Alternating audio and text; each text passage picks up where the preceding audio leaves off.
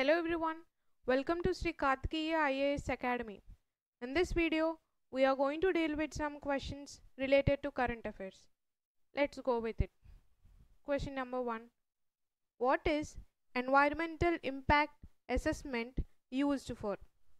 So before going into the statements, let us know what is this environmental impact assessment is. This is a process which is used to identify and evaluate the potential environmental effects of a proposed project plan or development. And this is a process which is uh, used for a decision makers. So understanding how a project may impact the environment and enable them to make uh, informed decisions and steps to minimize any adverse effect so this assessment mainly says that if anyone want to start or if any makers want to start a project they should know how their project will impact the environment and they should take a decisions or a steps to minimize the effects so let us go into the statements to know which statement is correct. To uh, statement a to assess the economic feasibility of a construction project. This statement is not correct because the project is mainly you know it uh, says about how a project will impact the environment. So this statement is not correct. Statement b to evaluate the social impact of proposed development. Even this statement is not correct. Statement c to identify and assess the potential environment effects of project. So this statement is correct. Statement d to determine the tax implication of a business expansion so this assessment is mainly based on how a project will impact the environment. So there is nothing about the tax implication of a business expansion. So only the option C is correct. So the correct answer is C. Second question.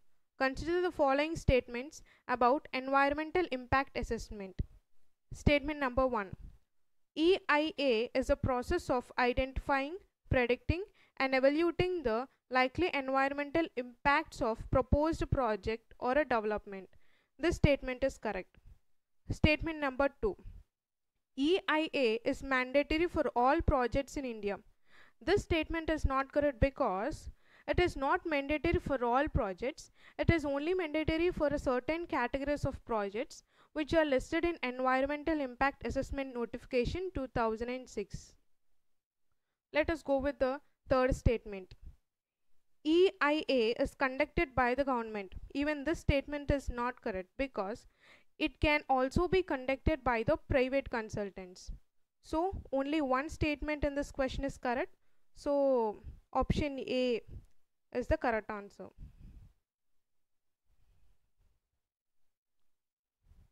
Let us go with the third question. Consider the following statements regarding coral reefs. So before going into the statements, let us know what is this coral reef is. These corals have a symbiotic association with the algae called zooxanthophyllae and this algae will live on this coral. These corals are of three types. There are three types of coral. The type 1 is called fringing reef. The type 2 is called barrier reef and the type 3 is called Atolls reef. So these are the three types of coral reefs.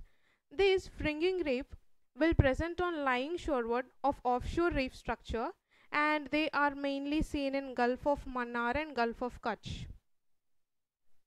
Let us go with this barrier reef.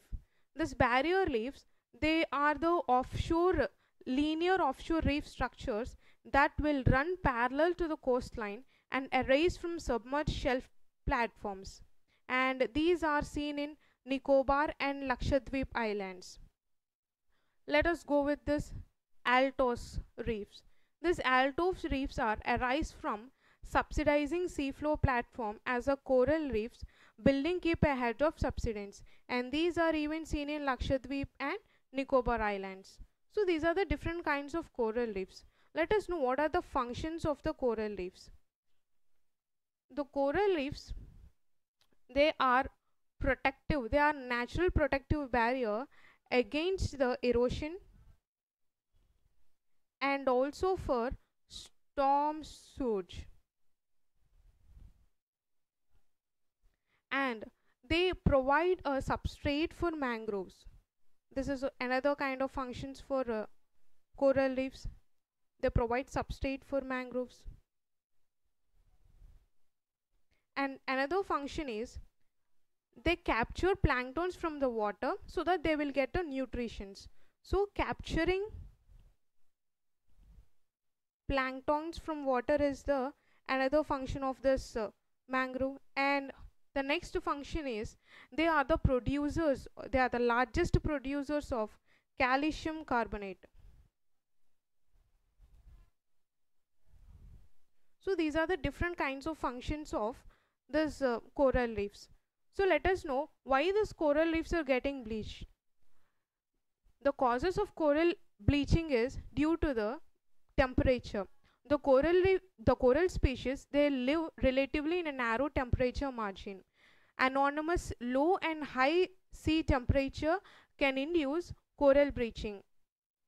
Bleaching is more frequent reported from elevated seawater temperature so this is all about the coral reefs let us go into the statements to know what is the correct answer. Coral reef provide a substrate for mangroves. This statement is correct because in the functions we have seen. And the second statement is fringing reefs are linear offshore reef structure that run parallel to the sea uh, that run parallel to the coastlines and arise from submerged shelf platform. This statement is not correct because the this is this entire statement is talking about the barrier reef so the main function is of the barrier reef not for the fringing reefs let's go with the statement number 3 both low and high sea temperature can induce coral bleaching even this statement is correct so in the above statements, two statements are correct. So the correct answer is option B, only two. Let's go with the fourth question.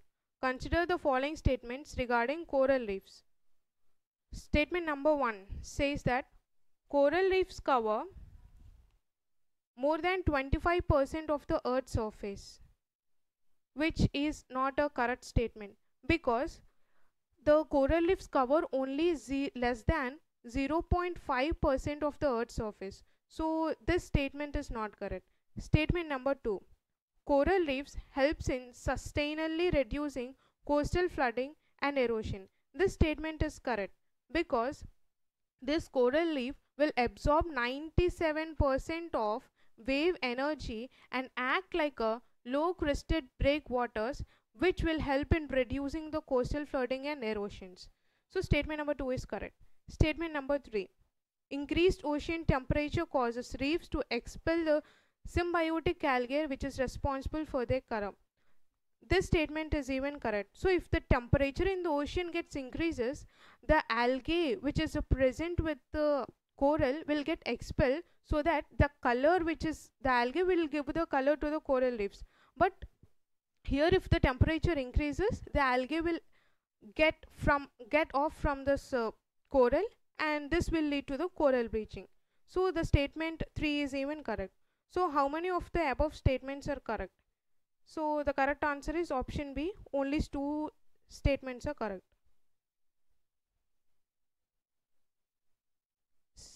question 5 consider the following statements statement number 1 when water gets too warm Coral expel the algae known as zooxanthellae living in the tissues. This statement is the correct statement. Statement number 2. Corals cannot survive a bleaching event. So this statement is not correct because coral can actually survive in the bleaching event but under the more stress and it will subject to mortality. The statement number 3. Coral bleaching threatens the existence of marine animals. Even this statement is correct because 25% of all the marine species are depending on the coral reefs. So how many of the above statements are correct? So statement 1 and 3 are correct, so only 2 statements are correct. So that's all about today's current affairs questions. Please do like the video, share the video and for more videos, please subscribe to our channel.